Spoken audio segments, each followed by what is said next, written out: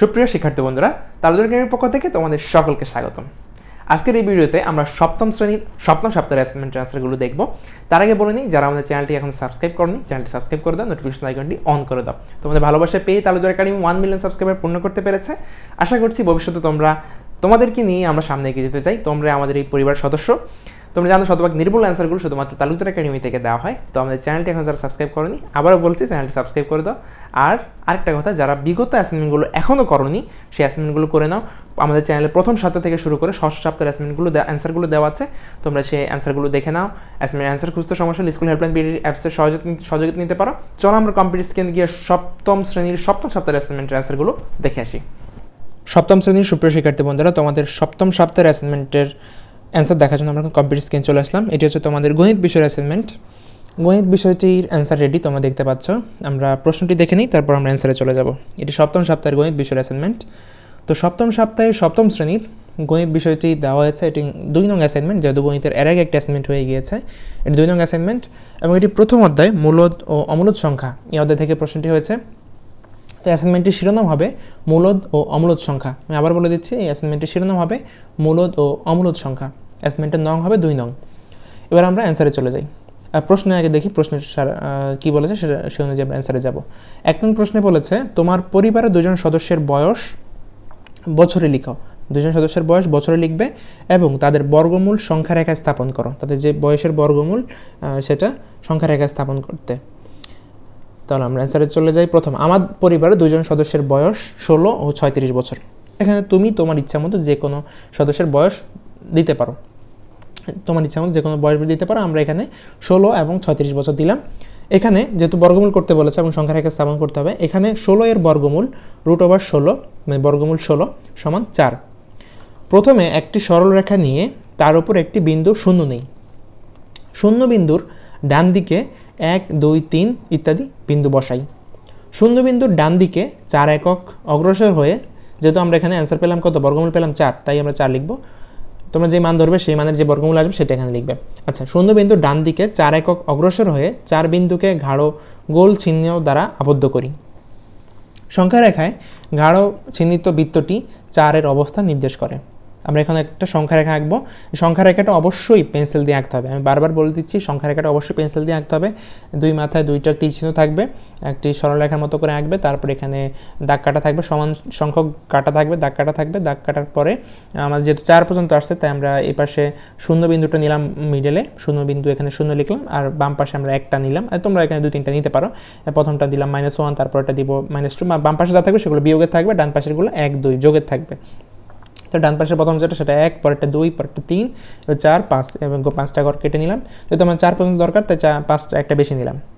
চার পর্যন্ত দেওয়ার পর যেহেতু আমাদের অ্যান্সার আসছে চার, তো চার বিন্দুটাকে আমরা গোল বৃত্ত দ্বারা ভরাট করে দিলাম। তোমরা এখানে গোল করে দিবা। তারপর যেহেতু শূন্য থেকে চার পর্যন্ত এসেছে, তাই এখানে একটা তীর চিহ্ন দিয়ে দিবা। শূন্য থেকে চার চার পর্যন্ত একটা তীর চিহ্ন দিয়ে দিবা।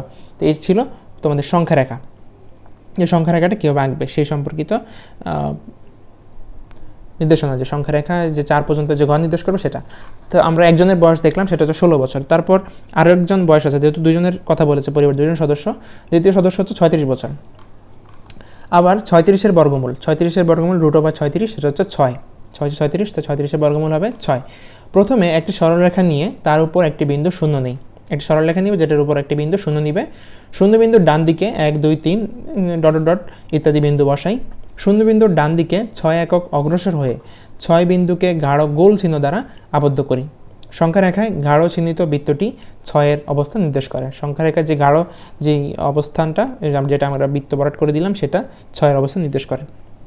একটার মতো এখানেও একটি তীর চিহ্ন দুই পাশে দুইটা তীর চিহ্ন দিবা এবং একটি রেখা সরল রেখা এঁকে দুই পাশে দুইটা তীর চিহ্ন দিলে সংখ্যা রেখা হয়েছে। তারপর সেখানে একটা বিন্দু নিবা, সেটা একটু মোটা কালার, কালো কালি করে দিলে ভালো। অবশ্যই এটা পেন্সিল দিয়ে আঁকতে হবে হ্যাঁ? সেখানে শূন্য দিবা, তারপর বাম পাশে যেটা, সেটা মাইনাস ওয়ান তারপর এখানে ওয়ান এক, দুই, তিন, চার, পাঁচ, ছয়, সাত দিলাম। এরপর আমরা নিচে এগুলো দেওয়ার পর এখানে যেহেতু ছয় পর্যন্ত এসেছে, ছয়ের ঘরে আমরা বৃত্ত বরাট করে দিলাম। এবং যেহেতু শূন্য থেকে ছয়, তাই শূন্য থেকে ছয় একটা তীর চিহ্ন দিয়ে দিলাম। এটা ছয়ের অবস্থান নির্দেশ করে। এই ছিল এক নম্বর প্রশ্নের অ্যান্সার তো ভিডিওটি ভালো লাগলে অবশ্যই লাইক দিবে বন্ধুর মাঝে বেশি বেশি শেয়ার করে দিবে। দুই নম্বর প্রশ্ন। দুই নম্বর প্রশ্ন হচ্ছে চব্বিশ ও একশো তেতাল্লিশ। হুম, চব্বিশ ও একশো তেতাল্লিশ যে সংখ্যা সংখ্যা দুটির বর্গের সমষ্টির বর্গমূল নির্ণয় করো। বর্গের সমষ্টি নির্ণয় করতে হবে এবং সমষ্টি নির্ণয় করে সেটার বর্গমূল নির্ণয় করো। তারপর হচ্ছে আবার সংখ্যা দুটির বর্গের অন্তরের সাথে কোনো ক্ষুদ্রত, কোন ক্ষুদ্রতম সংখ্যা যোগ করলে যোগফল পূর্ণবর্গ সংখ্যা হবে তা নির্ণয় করো। প্রথমে যেটা সেটাই করি, বর্গের সমষ্টির বর্গমূল নির্ণয় করি। তাহলে চব্বিশ আর দুই লিখে চব্বিশ, একশো তেতাল্লিশ, সংখ্যা দুটির বর্গের সমষ্টি চব্বিশের উপর স্কোয়ার মানে চব্বিশ হোল স্কোয়ার প্লাস যোগ একশো তেতাল্লিশ স্কোয়ার একশো তেতাল্লিশ হোল স্কোয়ার হ্যাঁ? চব্বিশেরকে স্কোয়ার করলে? চব্বিশের বর্গ হবে কত? পাঁচশো ছিয়াত্তর। এটা হচ্ছে চব্বিশের বর্গ যোগ একশো তেতাল্লিশের বর্গ হচ্ছে বিশ হাজার চারশো উনপঞ্চাশ এটা হচ্ছে একশো তেতাল্লিশের বর্গ। এবার কাজ কি? পাঁচশো ছিয়াত্তর আর বিশ হাজার চারশো উনপঞ্চাশকে যোগ করে দিব। যোগ করলে আসছে কত? একুশ হাজার পঁচিশ। হুম, এটা হচ্ছে চব্বিশ একশো তেতাল্লিশ সংখ্যা দুটির বর্গের সমষ্টি কত একুশ হাজার পঁচিশ। এখন যেহেতু বলেছে যে এই সংখ্যা দুটি বর্গের সমষ্টির বর্গমূল, বর্গের সমষ্টি আমরা বের করলাম সমষ্টির, এই যে সমষ্টিটা, সেটার বর্গমূল বের করতে হবে। তাহলে একুশ হাজার পঁচিশ, কোন নির্দিষ্ট নির্ধারিত নিয়ম বলা নেই, তাই আমরা যে পদ্ধতিতে সহজ মনে হবে, সেই পদ্ধতিতে আমরা করব। তো একুশ হাজার পঁচিশ, এটাকে যদি আমরা ভাঙাই, কত পাই? পাঁচ গুণ বিয়াল্লিশ হাজার সরি, চার হাজার দুইশো পাঁচ এখন পাঁচ আছে, চার হাজার দুশো পাঁচকে যদি ভাঙাই, উনত্রিশ গুণ পাঁচ গুণ উনত্রিশ এটা পাই। এখন আমরা জোড়া জোড়া নিয়ে নিব, কারণ জোড়া জোড়া নিয়ে আমরা সহজে বর্গমূল বের করতে পারি। তো পাঁচ গুণ পাঁচ, এক জোড়া নিলাম, গুণ উনত্রিশ গুণ উনত্রিশ, এক জোড়া নিলাম। এবার এখান থেকে আমরা প্রতি জোড়া থেকে একটি করে গুণনিক নিয়ে পাই। যেহেতু জোড়া জোড়া আছে একটি করে গুণনিক নিয়ে নিব। পাঁচ গুণ পাঁচ এখানে একটি জোড়া, এখান থেকে একটা নিয়ে নিলাম পাঁচ গুণ। এখানে আছে উনত্রিশ গুণ উনত্রিশ, এখানে উনত্রিশ একটি জোড়া। তো উনত্রিশ এখানে জোড়া থেকে একটি নিয়ে নিলাম, তাহলে উনত্রিশ। তাহলে পাঁচ গুণ উনত্রিশ গুণ আকারে পাঁচ আর উনত্রিশ গুণ করলে একশো পঁয়তাল্লিশ। তাহলে প্রতি জোড়া থেকে একটি করে গুণনিক নিয়ে পাই পাঁচ গুণ উনত্রিশ সমান একশো পঁয়তাল্লিশ। অর্থাৎ একুশ হাজার পঁচিশ, একুশ হাজার পঁচিশের বর্গমূল রুট ওভার একুশ হাজার পঁচিশ সমান একশো পঁয়তাল্লিশ। তাহলে এটা আমরা যেটা পেলাম যে প্রথমে যেটা বলা হয়েছে, বর্গ দুটি বর্গের সমষ্টির দুটি সংখ্যার দুটি বর্গের সমষ্টির বর্গমূল নির্ণয় করে। তাহলে বর্গমূল আমরা পেলাম একশো পঁয়তাল্লিশ। এবার দ্বিতীয় ভাগে আসে। দ্বিতীয় ভাগে বলেছে যে, আবার সংখ্যা দুটির বর্গের অন্তরের সাথে, এবার যদি দুটি সংখ্যার অন্তরের কথা বলেছে, অন্তরের সাথে কোন ক্ষুদ্রতম সংখ্যা যোগ করলে যোগফল পূর্ণবর্গ সংখ্যা হবে? তাহলে আবার চব্বিশ একশো তেতাল্লিশ সংখ্যা দুটির বর্গের অন্তর। যেহেতু বর্গের অন্তর বের করতে হবে, বড়টা থেকে ছোটোটা বিয়োগ করতে হবে, তাহলে একশো তেতাল্লিশের স্কোয়ার একশো তেতাল্লিশ হোল স্কোয়ার মাইনাস বিয়োগ চব্বিশ হোল স্কোয়ার তাহলে একশো তেতাল্লিশকে স্কোয়ার করলে কত হবে? বিশ হাজার চারশো উনপঞ্চাশ। বিয়োগ চব্বিশকে স্কোয়ার করলে আসবে পাঁচশো ছিয়াত্তর। এটা বিয়োগ করলে আসছে উনিশ হাজার আটশো তিয়াত্তর। তাহলে এটা বর্গের অন্তর পেলাম আমরা কত? উনিশ হাজার আটশো তিয়াত্তর। যখন বলেছে যে কোন ক্ষুদ্রতম সংখ্যা এটার সাথে যোগ করলে এটা পূর্ণবর্গ সংখ্যা হবে। তাহলে উনিশ হাজার আটশো তিয়াত্তরকে আমরা এবার বর্গমূল বের করব। উনিশ হাজার আটশো তিয়াত্তরকে বের করার পর দেখো কি আসে। উনিশ হাজার আটশো তিয়াত্তর আসে এখানে। এক দ্বারা যদি দেই, তাহলে প্রথম যে সংখ্যাটা আছে কিন্তু পাঁচটি সংখ্যা, তাহলে এখানে ডান দিক থেকে ঘর গুনবো। তিয়াত্তর এক জোড়া, আটানব্বই এক জোড়া, এক একা। তাহলে প্রথম জোড়ার ক্ষেত্রে চিন্তা করি, প্রথম জোড়া এককে আমার ঠিক করতে হবে মানে একের মতো, একের থেকে ছোট বা একের সমান মান আনতে হবে। তাহলে এককে এক লিখলাম, একের স্কোয়ার হচ্ছে এক এখানে এক লিখলাম, এবার এখানে এক লেখার পর এক, এখান থেকে উপর থেকে এক জোড়া নামবে, এক জোড়া মানে আটানব্বই নামলো। আর এখানে একের ডাবল একের ডাবল কত? দুই, একের দ্বিগুণ, দুই, এবার এখানে এমন একটা মান বসাতে হবে এবং এখানে এমন একটা মান বসাতে হবে যেটার জন্য আটানব্বই ছোট হয় অথবা সমান হয়। তাহলে দেখো চব্বিশ, চার বসালাম, চব্বিশ হয়, আর এখানে চার। চব্বিশ আর চার গুণ করলে চার, চব্বিশ, ছিয়ানব্বই। আটানব্বই আটানব্বই উপরে নিচে ছিয়ানব্বই। আটানব্বই থেকে ছিয়ানব্বই বিয়োগ করলে তাই কত? দুই। আর এখান থেকে এক জোড়া নামবে কত? তিয়াত্তর নামবে। তাহলে দুশো তিয়াত্তর। আর এখানে যে চোদ্দ আছে, চোদ্দ ডাবল চোদ্দ ডাবল কত? আঠাইশ। আঠাইশ, আর এখানে দেখো দুশো তিয়াত্তর, এখানে যদি আমি শূন্য এক বসাই, তাহলে দুশো একাশি হয়ে যাচ্ছে। দুশো একাশিকে এক দ্বারা গুণ দুশো একাশি, তাহলে দুশো একাশি দুশো তিয়াত্তরে বড় হয়ে যায়। এরকম মান বসানো যাবে না। অবশ্যই দুশো তিয়াত্তরে ছোট বা সমান মান বসাতে হবে। তো শূন্য, তাই শূন্য বসাবো। দুশো আশি শূন্য বসালাম, এখানে শূন্য বসবে। তাই দুশো তিয়াত্তরের পর এখানে শূন্য বসল।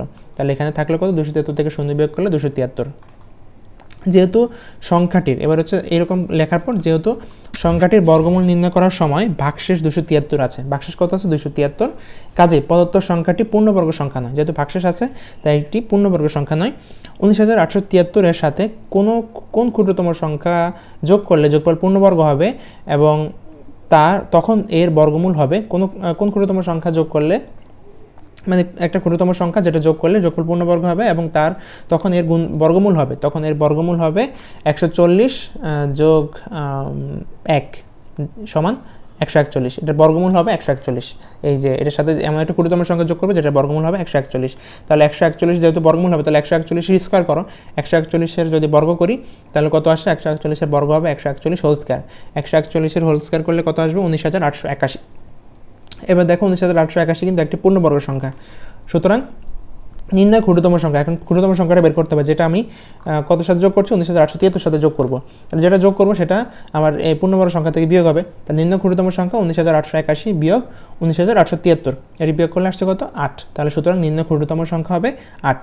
যেটা আমার অ্যান্সার প্রশ্নে চাওয়া হয়েছে যে কত কোন ক্ষুদ্রতম সংখ্যা যোগ করব? তাহলে ক্ষুদ্রতম সংখ্যা আট যোগ করলে এটি একটা পূর্ণবর্গ সংখ্যা এবং উনিশ হাজার আটশো তিয়াত্তর, যেটা আমরা বর্গের অন্তর পেয়েছি, সেটার সাথে আমি যোগ করলে সেটা একটা পূর্ণবর্গ সংখ্যা হবে।